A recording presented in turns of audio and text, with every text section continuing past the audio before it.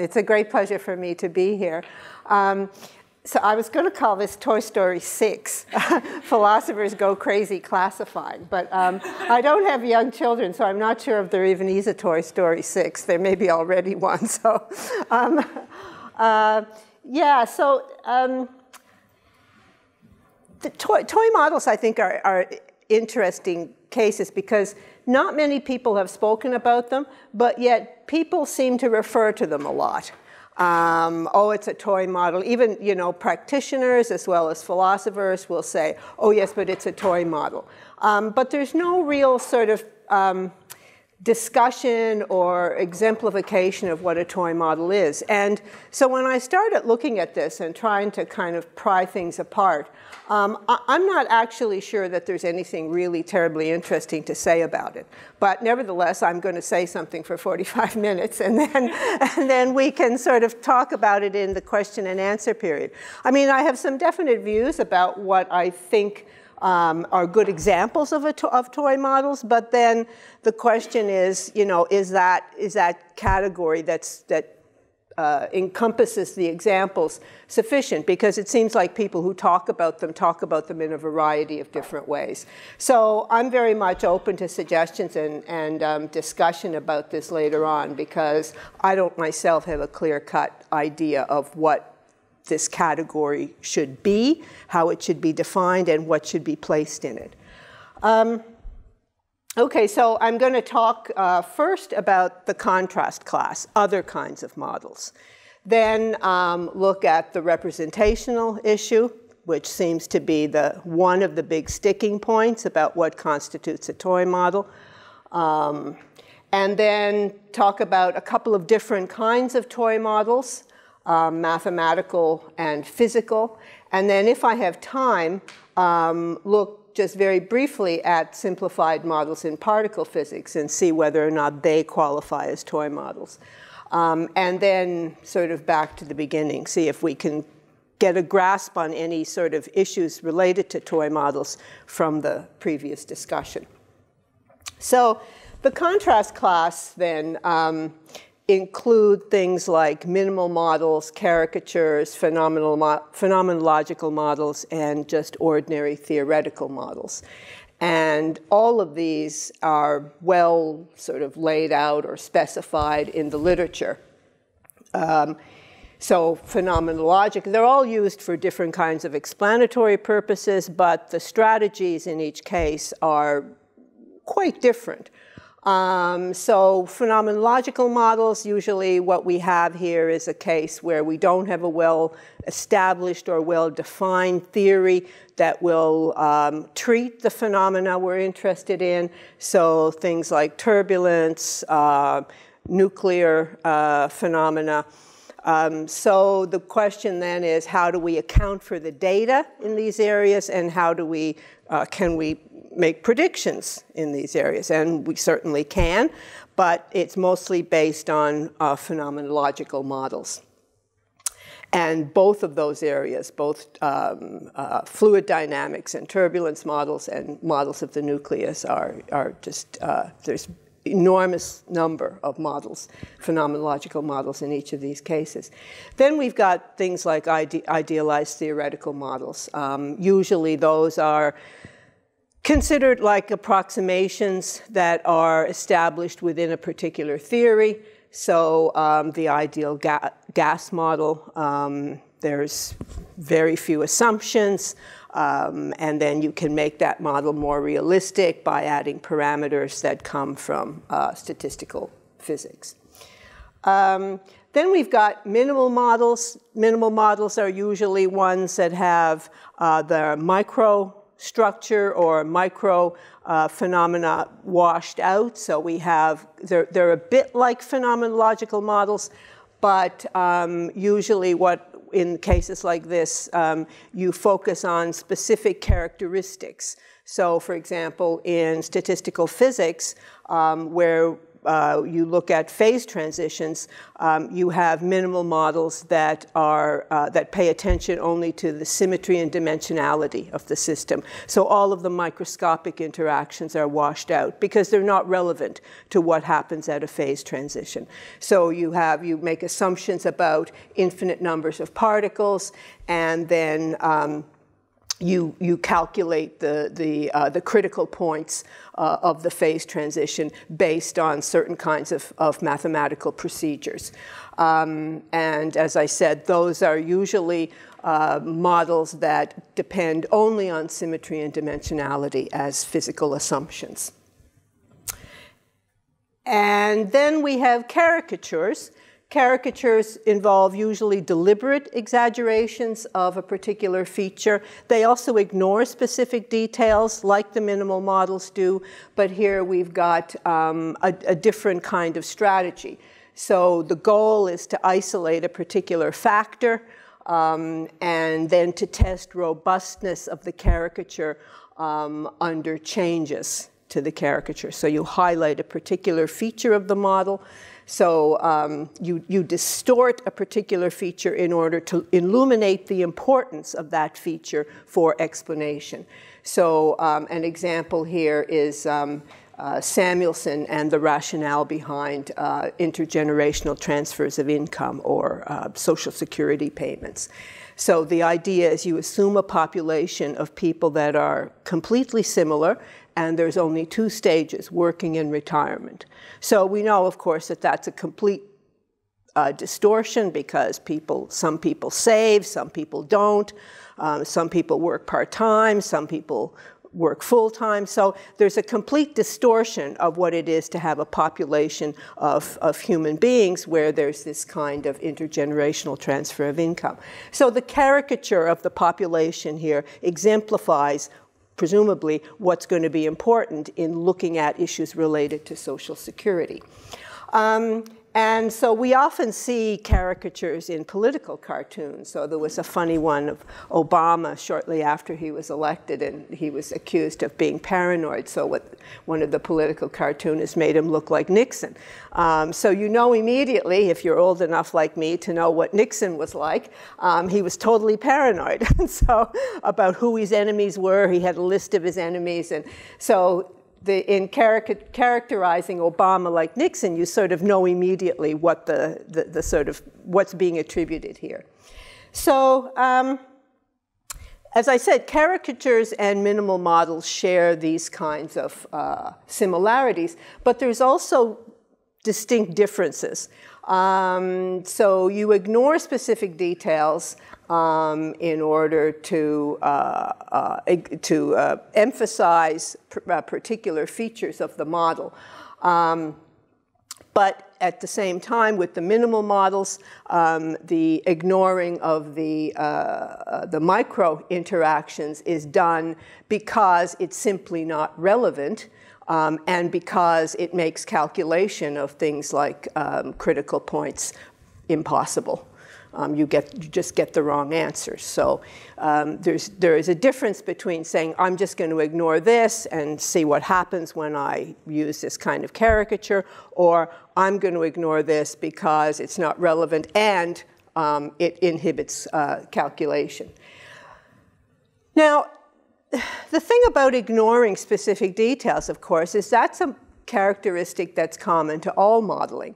Um, with phenomenological modeling, you're ignoring specific details because you don't have the theoretical foundation to incorporate them. Um, in idealized cases like the ideal, ideal gas model, you're ignoring specific details because you don't need them. Um, so there's all sorts of reasons for ignoring details, but every model is involves ignoring details of some kind or another, or deliberately falsifying details, deliberately uh, caricaturing the details for one reason or another.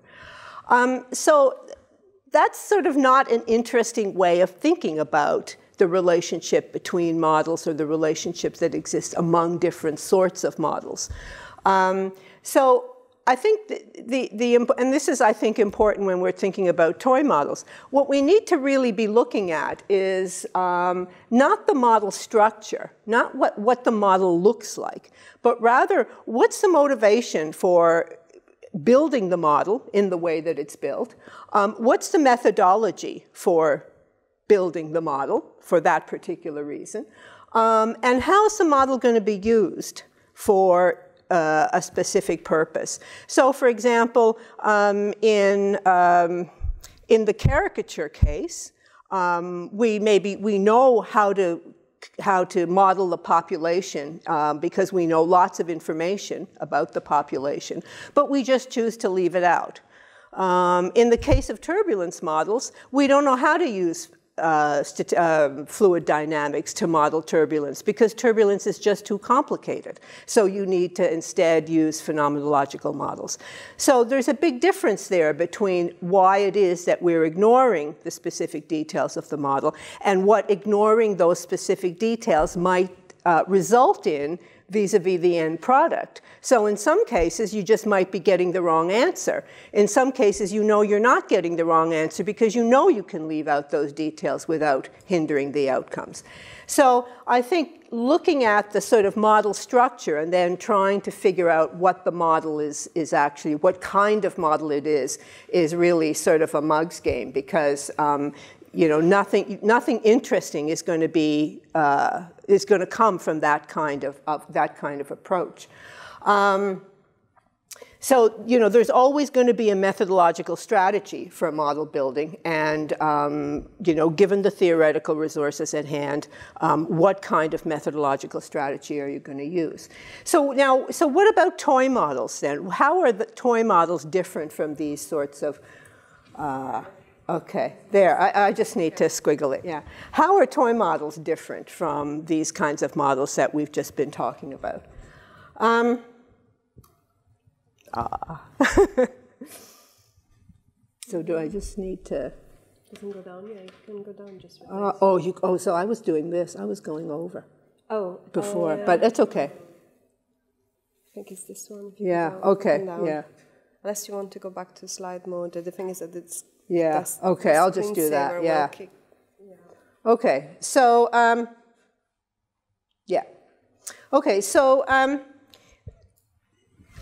one of the things that's particularly um, um, important, I, well, I don't know if it's important, but it's something that's actually um, focused on in talking about um, toy models, is the representational issue. And um, as I said, there are a lot of people mention toy models. Um, in the SEP article on models in science, uh, Roman Frigg and Stephan Hartmann um, referred to toy models as probing models. Um, they claim that these toy models don't uh, involve any kind of representational function, and they don't tell you about anything interesting uh, beyond the model itself. So in other words, the toy model tells you about the toy model. Um, and they claim that the purpose is to test new theoretical tools that are used later to build representational models. So toy models, it's almost as though you're saying that toy models don't have much cognitive content. They're just used as a heuristic device along the way when you're not sure how to build a representational model. Um, then the, uh, there's a recent paper in Studies in History and Philosophy of Modern Physics um, by um, Luczak, who says, yes, I agree with Hartmann and Frigg that toy models actually don't have any kind of representational function, um, but they do take us beyond the model itself, and they have other sorts of functions. So they elucidate aspects of a theory, they are used for testing consistency between concepts um, and acting as hypothesis generating tools. So that's more or less what uh, Roman and Stephan mentioned in their, um, in their uh, SEP article. I'm not sure how you can elucidate aspects of a theory if you're not representing the theory in some way, but we'll leave that aside for now. Um, he also claims that idealizations or approximations can do that as well. um, but they're always doing it in relation to a target system. So, like the ideal gas, mo- uh, gas model um, is a model of ideal gases. So there's a target and there's a model. Um, the idea here is that if toy models aren't representational, then there is no target system per se, uh, because they're not representing anything. Um, so what they do, he wants to say, is they lead to insights by using analogies. Um, I, I, think there's a sort of internal inconsistency here because um, if you're using analogies, you're involved in some kind of representational strategy. But um, my point is not to argue against this. I just wanted to illustrate it for um, purposes of talking about toy models. And uh, Alex Reutlinger and um, uh, Stephan Hartmann and uh, uh, Hangleiter have also a new paper coming out in BJPS on uh, fictional, on sorry, toy models. Um, and they want to claim that toy models lead to understanding in two ways. One is in virtue of the toy model being embedded in a larger theoretical structure, and the other is a case where you have an autonomous toy model. So when you've got an embedded toy model, and their example of an embedded toy model is an ideal gas law, um, or and also this um, uh, the sun plus one planet model in Newtonian physics. The idea is that you can learn how actually the system behaves um, because you've got this background theoretical framework that's telling you all kinds of additional things about the target system. But the toy model gets its information, as it were, by being embedded in this theory. So we all know that the solar system doesn't involve um, the sun and one planet. But we can use that model, um, that toy model, to uh, make lots of, of calculations and, and, uh, and uh, other kinds of, of uh, activities because it's embedded in Newtonian physics, which is a highly successful theory. Um, autonomous models, uh, by contrast, don't have any kind of theoretical embedding in them, and they instead yield how possibly explanations. So they're very much hypothetical. And their example of a, of an autonomous toy model is a, a, collision model that's used in econophysics. So the idea here is that um, uh, agents, economic agents, um, behave exactly like molecules in a gas. That is, they have no uh, desires, no intelligence, and they just run around like uh, in random motion, like molecules. So th these actually these models are highly successful in statistical econophysics, um, in in modeling financial markets. Uh, because as soon as you start bringing in people's motivations and desires and goals, then everything gets very complicated. So better to just uh, model human beings like molecules in a gas, and then you're all set. Um, so the, I mean, again, here I think there's a, there's a kind of problem because the autonomous toy model, the collision model in, in econophysics, gets its legitimacy from the fact that it's a, a reliable model in statistical mechanics. And so the idea here, the analogy is that, well, we can model populations of economic agents in the same way that we model populations of uh, molecules in a gas. And that model um, was also very successful, uh, used by R.A. Fisher in uh, trying to bring together Darwinian selection and Mendelian genetics. The idea was you model genes in the same way that you model uh, molecules in a gas. You assume that there's an infinite number. You assume that they interact randomly. And so this, that kind of model has a long history of success. Um, so I think that it's not clear, actually, that that's an autonomous toy model at all. It's just bringing it over from another domain where it does have legitimacy and using it in another one, in another, um, in another context. Okay. Um, now, in, in these cases, representation seems to be the sticking point. Um, and so, you know, the models don't represent, yes, they do represent, but I, I, mentioned in, in discussing some of these issues that the representation issue is not at all clear. Because what does it mean to say that you can uh, model the theory or that you can find out using a toy model features of the theory if you're not in some way representing the theory? Now, it's a sort of unfortunate, I don't know if it's an accident or if it's been deliberate, that we've got really bogged down in this issue of representation. Um, you know, and, and there's, there are all kinds of, of philosophical problems around representation. You know, they say, well, how do models represent if, they're, if we know that they're false about the systems that they're representing? Um, but that's not a very interesting question because every model is false, um, and yet many, many models are highly successful. So the, and, the, and there's you know, a million theories of representation out there. Um, there's isomorphism, there's similarity, they've all got problems. Um, and then there's the, the other issue, well, anything can represent anything. Um, uh, Craig Callender, uh, Callender and Cohen's idea that, you know, well, you can use, you can use my hand to represent quantum system. Yes, you can, but you're not going to learn anything interesting from that kind of representation. So it's not clear that, you know, yes, you can use represent anything to represent anything. I mean, maybe you can, but it's not very interesting. But at the same time, it's not clear that you need to have some specific theory of representation in order to figure out where the, where, the, where the model is representing something and whether it's doing it in a good way because you can say, well, look, um, the ideal gas law or the ideal gas model represents certain kinds of gases in a particular context for that particular purpose. Um, similarity, similarly, I mean, you know, how do we define similarity of representation? Is it similarity of structure? Is it similarity of interactions? Is it similarity of properties? I mean, the whole thing is just, it's sort of wide open.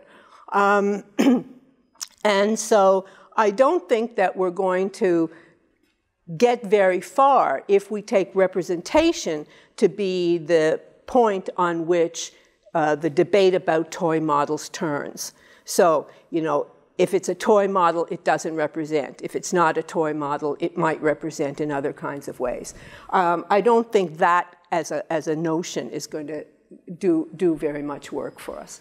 Okay, so Given that we know now what people have been saying about toy models, um, what the contrast class is, what the problems with representation are, um, let's look at a couple of um, I, what I think are, are, sort of classic cases of, of, toy models, or what's been at least described in the, in the uh, literature in, in, in physics as as cases of toy models.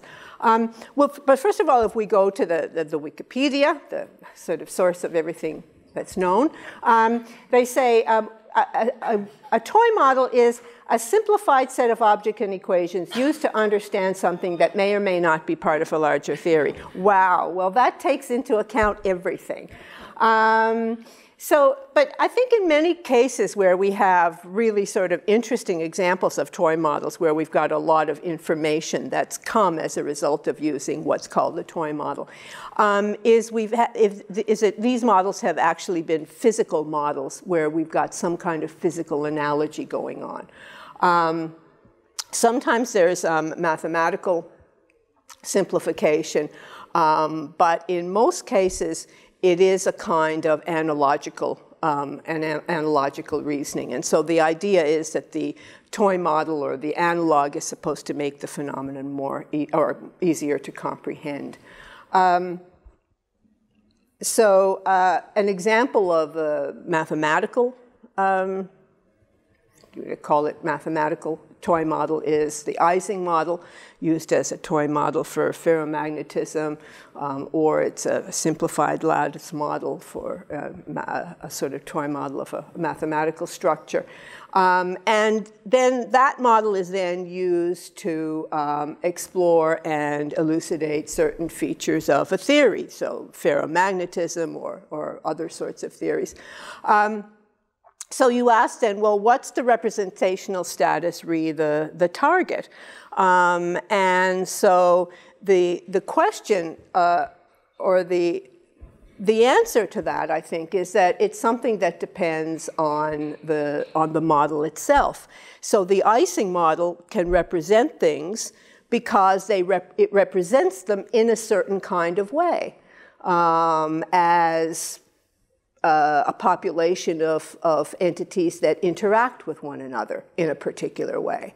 Um, so the Ising model has a representational function, but that, the way that representational function is understood is in the context in which the Ising model is, is going to be used. Um, so it's the, the way the Ising model is used, not, not how it's categorized. So people will the Ising model is just a toy model, um, and it's, it's, but, but the term indicates a kind of modeling practice um, rather than, I think, the status of the model itself. So um, topological quantum field theory was thought for many years to be a model of, um, of real quantum field theory. But then people found out that topological quantum field theory could explain lots of interesting and uh, badly understood um, features of the fractional quantum Hall effect. So when the people who discovered the fractional quantum Hall effect won the Nobel Prize, all of a sudden topological quantum field theory became much more than a toy model. So um, it had nothing to do with changes in the model itself, but rather it had to do with the, the context and the way people viewed the model vis-a-vis -vis, uh, the way it helped people understand um, the, that particular uh, weird effect about the fractional quantum Hall effect. Um, again, you have uh, a quantum graph that's a kind of toy model for quantum chaos. So what does the graph look like? Well, it's like a, a network-shaped linear structure, and it's got differential equations um, acting on the functions that define the bonds. And it was first introduced by Linus Pauling back in the 1930s to um, uh, as a model for, um, for uh, models of free electrons in, in organic molecules. So it looks something like this. There's lots of different ways of, of uh, uh, representing uh, quantum graphs, but that's, that's one of them.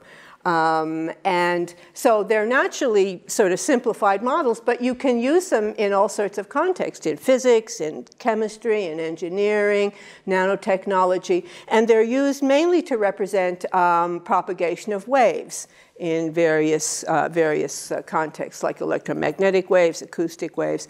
So something that's used as a toy model uh, to represent particular kinds of, uh, of uh, molecules um, can be used to, to represent all sorts of things. Um, so the Ising model and these quantum graphs um, represent in a way that's very different from um, physically based toy models. Um, in the quantum graph case and in the Ising model, the focus is on capturing, on mathematical relations that, that capture particular structural features of the, of the phenomena or of the situation. Um, now, not that that's not the case in, um, in more physical uh, toy models, but the physical toy models, I think, usually have many more, um, many more features built into them. So I want to talk very briefly about two. One is the Fitzgerald wheel and band model, and the other is um, models of, uh, of quantum magnetism. So what time did I actually start? I want to just time myself. 10, so you have until 11.45? Yeah, so say, so say another 20 minutes? Yeah, okay. Um, okay, so, so we've got these toy um, mathematical models, the Ising model, the quantum graphs, um, and they're very austere kinds of structures.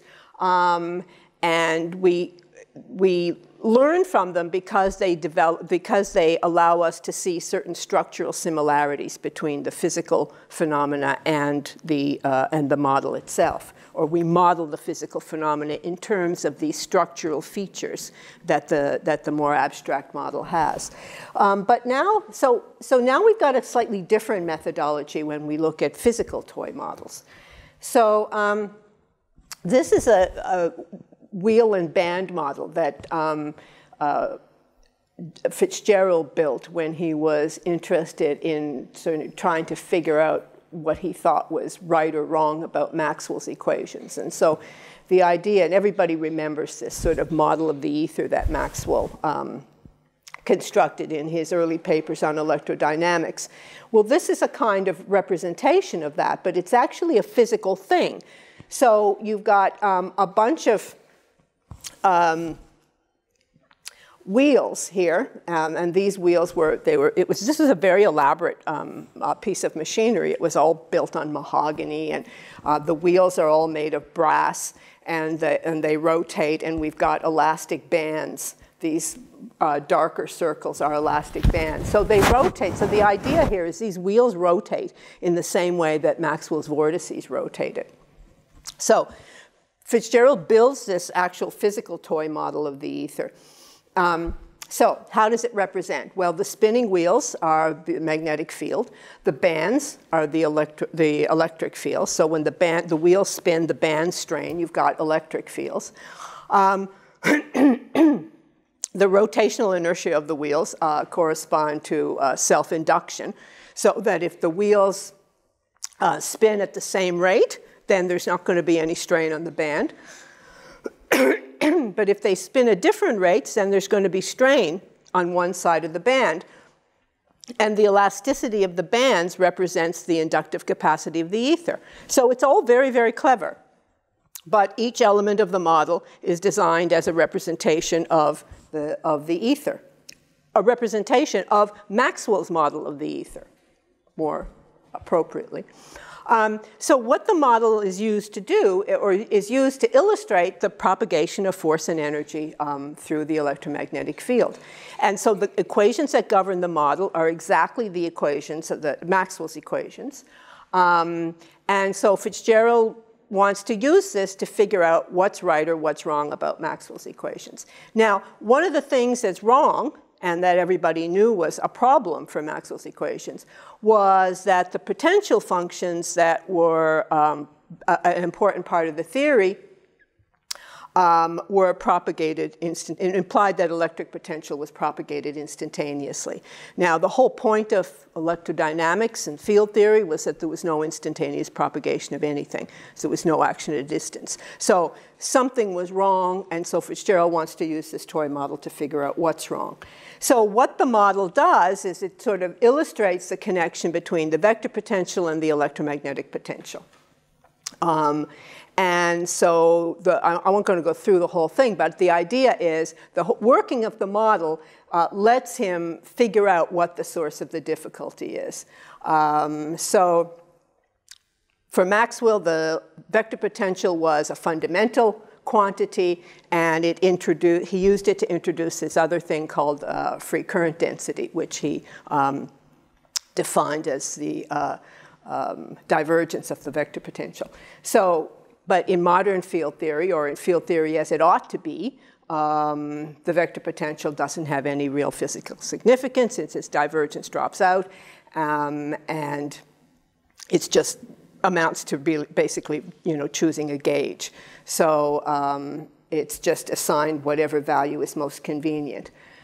So um, the problem is Maxwell took uh, J to be uh, zero, and that's okay for electrostatics, but once you get um, changing fields, then um, uh, J becomes non-zero and the electric potential gets uh, propagated instantaneously. There was nothing in the model that propagated instantaneously, so um, Fitzgerald drops this assumption um, that J and the electric potential were independent and instead redefines it in terms of the, uh, of the divergence of the vector potential and makes uh, uh, d of the vector potential over dt zero. So what that amounts to then is just switching, back, switching to what's now in modern terms the Lorentz gauge. Um, and that completely eliminates electro, uh, instantaneous propagation. So what he does, very interestingly, is use this physical toy model to actually figure out what is wrong with Maxwell's equations because the equations that govern the toy model are the equations that Maxwell's field equations, and so he uses the toy model to figure out because nothing in the toy model actually propagates instantaneously, so there's something wrong. So the, but in order to do that, the whole thing has to have a very specific structure, right? There has to be lots and lots of detail built in there. Um, and so you're not going to get uh, a simplified model with lots of stuff left out, um, giving you these kinds of answers.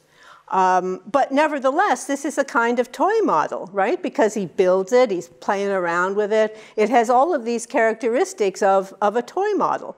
Um, but it's got this very detailed and complex structure. Um, now, since th this time, of course, toy models have uh, grown in, in complexity um, because physics has grown in complexity. Um, and so, you know, physical experiments are no longer tabletop experiments, and um, we can't uh, use the same kind of, of really low-level technological uh, instrumentation to try and figure out what's going on with our physical theories. So um, um, this, uh, toy models for quantum magnetism are a good example of this. Um, so why do you need toy models in, in uh, explaining quantum magnetism? Well, because the models, the physical or the theoretical models represent um, enormous challenges to simulation because they're so complicated. And they're not, it, takes way too much computer time to uh, figure out what the, uh, how the model is going to behave. So what actually is in, what's the problem with, with quantum magnetism? Well, you've got these particles and they minimize um, their energy by aligning or anti-aligning their spin relative to each other. And that is also depends on the, the uh, types of interaction between them. So like a bit like the Ising model. Um, but part of the problem is that very often not all the interaction energies between the pairs can be minimized at the same time um, in the same sort of spin configuration. So this is called, this is a problem that's called spin frustration. And you can't really solve this problem using ordinary computer simulation. So you can't simulate the model and, and hope to get the answer. Um, so it's particularly the magnetic interactions that are frustrated. Um, so sometimes what happens is, as I said, is the spin can't arrange its uh, orientation in such a way that it profits from uh, interactions with its neighbors. So you can't use an Ising model to solve this problem, and it's what we know, what would normally be the case. I mean, the, the sort of spin interactions are typically modeled using the Ising model. Um, so it looks something like this. You've got um, spin up, spin down here. Well, how do you assign the, the, the spin over here? To, so that you've got minimizing, so you minimize the energy. And you can't calculate that. Looks easy, but you can't calculate it. Um, so the third spin can't gain any energy. Um, and that frustration prevents magnetic ordering. So in quantum systems, you, you, you can't get any magnetic ordering as a result of this kind of spin frustration in particular situations. So the challenge then, as I said, to find minim these minimum energy configurations, um, the lattice geometry forbids uh, simultaneous minimization of these energies. And so what you do is think about it um, like marbles on a board. Um, how do you fill the board with red and blue marbles such that no marble has neighbors of the same color. And that's the computational problem. So, that problem is not easily solved, so what do you do? You move to um, a toy model. Uh, you construct a triangular lattice of interacting spins, and those watch as those spins evolve into different kinds of configurations. But how do you do that? So how do you build the toy? That's the problem, or that's the challenge. And so it was, I think it was in 2012, um, a strategy was developed for doing this, where you trapped ions using electro, uh, electric and magnetic fields. You use a laser to cool the ions and you cooled them into a, a two-dimensional triangular lattice structure with a marble at each site. So you literally take these atoms. This is like the analog of Fitzgerald's wheel and band thing, right? It's a physical, it's a physical process. You trap these ions, you laser cool them, and then you see how the configurations evolve. And um, you cool them into this kind of lattice structure. So um, the up and down states represent the different colors. And um, the, when the, the entanglement of the motions of these ions in the, in the lattice structure um, can then be translated into an Ising-like problem.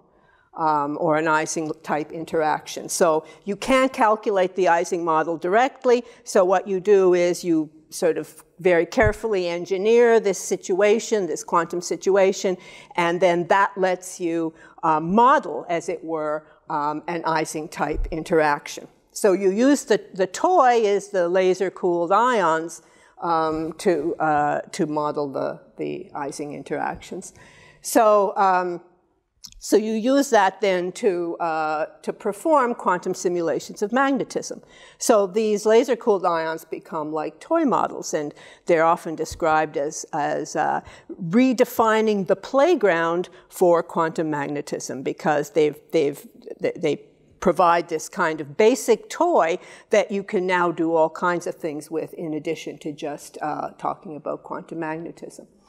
So um, they're, they're sort of similar. This is sort of similar to proof of concept experiments, where you've got a realization, at least a sort of partly realization via the toy model, um, of a specific feature, which is this spin frustration. Um, but that's very, very different, right, than when we think about uh, how string theories are toy models of the standard model.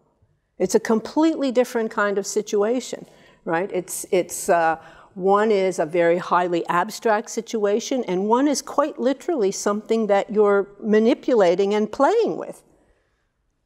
Um, so I think then some of the goals for toy models, um, based on the examples um, that uh, I just mentioned or just discussed, um, they help you identify crucial features of a full model that need to be present if the toy is going to work properly. So in both of these cases, you need, you need to know, know what's making the toy work. You need to know, you need to have a kind of background theory in order for you to be able to actually build the toy and, and know that the, that, that the thing is going to do some interesting work for you. Um, hope that some devices can be highlighted as central in the toy model. So particular features of the, of the toy model are going to be, have important, um, I don't want to say representational, but I'll say representational capacity in order to help you explain certain things. Um, and then they can bridge the gap between physics and mathematics by allowing an interpretation of the formalism where the, where the physics is manifest. So the physics is manifest in electromagnetic in field theory. We know there's no instantaneous propagation. The physics is manifest in the quantum case where we have spin frustration, but nobody knows how to fix the problems or how to solve those problems. And the toy model comes along and bridges the gap almost like a little experiment between the, the, um, uh, the mathematics and the physics. Um, so all of these toy models are different, right? The, the Ising model, the, the physical models, the quantum graphs. Um, but what is it that makes them all toys? Um, well, in the last two cases, it's fairly easy to see because we've got physical objects that we're sort of manipulating. Um, Fitzgerald played with the wheel and band model. Um, Britton used the trapped ions to simulate something else in a way that you can use something that's not a toy as a toy, you know, like plastic bags, right? This is not a toy. it's just written on the bag. Don't use this as a toy. Don't put it over your head. Um, but nevertheless, um, th so this idea is you can use these devices or these things as, as in an exploratory way. Um, so what about the Ising model? Well, the Ising model is concerned with the physics of phase transitions. Um, and basically what it does, it gives rise to, it, it looks at interactions that give rise to long-range cooperative behavior. So as a result of that, then it's used for lots of different things. It's used to study the growth of cancer cells. It's used to study uh, language change. Uh, it's used as a basis for Schelling's segregation model. It's used as a model for uh, trying to figure out uh, aspects of business confidence all sorts of things because it has this basic fundamental structure in that it models interactions in a way that allows us to look at long-range cooperative behavior. Um, so co cooperative behavior where we have large systems. Um, so it does that because it's formulated as a mathematical problem that's used to generate specific kinds of structural features. So in that sense, it's the Ising model is also like a minimal model, um, and it's often referred to, as I said, as a toy model, but it's not clear what it what its toy-like features are. Um, I mean, there's nothing if you if you wanted to say, well, it's not doesn't involve a lot of detail, but that's it's not clear that not involving detail makes it a toy model. Um, so I think there's, I'm not going to talk about this because it's getting, the time's getting short. Um, so back to the beginning then, what exactly are these toy models? And I, I've said a lot of things um, this morning about, about toy models and about um, what, why things are or aren't toy models. So well, at the very least, they seem to come in, in, a lot of different varieties. But the question that really, that I guess I'm hung up on, is what is it about these models, especially the mathematical ones, that make them toys? Um, at what point does an idealized model become a toy model? Um, and you know, Hartmann and, and uh, Reutlinger have said, well, it's when it's not embedded in a theory. Um, but mostly these models are, in some way or another, embedded in a theory. Um, so the, the questions about what makes something a toy model don't seem to be answered in a generalized way because the, the toy types um, are, are very different in their structure, very different in their design, and very different in their, motiv in their motivation. So why is the Ising model like Fitzgerald's wheeled and band model? Um, but I think this is like the problem of classifying models generally. Um, you know, models perform a lot of different sorts of functions. They're constructed in a variety of different ways. Um, no model is a full description. All models have false assumptions. Um, but those aren't reasons to call them toys. Um, and the toy models of course, they have false assumptions, but they've got lots of, of uh, very interesting and, and correct information um, embedded in them as well. So we take all these models seriously because we think we should learn something about them. Um, but when we're talking about how we learn something from a model, really what we're talking about is um, what we want to know is how it is that we learn that thing and why is it that we're learning something from that model. Um, so I think the question about whether or not something's a toy um, isn't really the important one. I think the important one is how do we use these models to make us understand something about the target system that we're interested in. And what that brings you to is an analysis of the model itself. not, not a, a sort of um, putting the model in a classification. So if this is a toy model, we learn about it. We learn about uh, a system or, or the target this way. Um, if this is an idealized model, we learn about it this way. Um, I don't think that classification of models really does any work. What's, what's important in the classification of models is the relation of the models to the theory, the relation of the model to some other kinds of structural assumptions that we know about a particular system. So it's important to know what the relationship of phenomenological models is to theory or what it isn't to theory. But in terms of um, actually figuring out what the difference is between an idealized model and a toy model, I don't think that's an interesting question that's going to really get us very far in figuring out how toy models deliver information. So there's just simply too many variables to make that designation philosophically interesting. And as a result, I think, you know, we can, um, I think it's a waste of time, really, trying to figure out um, what makes a toy model a toy model. Because for every toy model that we isolate, we can say, oh, yes, but this is also a theoretical model, or it's an idealized model, or it's, a, it's some other kind of model. Um, and the representational issue is not going to get us very far either because you say, well, it doesn't represent the target accurately. No, but it represents the target. It might only represent the target structure, but it still represents the target, or it represents the theory it's going to have a representational function. Figuring out the representational function is going to involve just looking at the model. Figuring out what constitutes representation, that's a question I think, uh, uh insofar as we're going to learn something about that, we're going to need cognitive science for that. Um, figuring out how a scientific model represents a target is a, is a sort of different kind of question and, and one that is really, I think, an open-ended one that's it for me.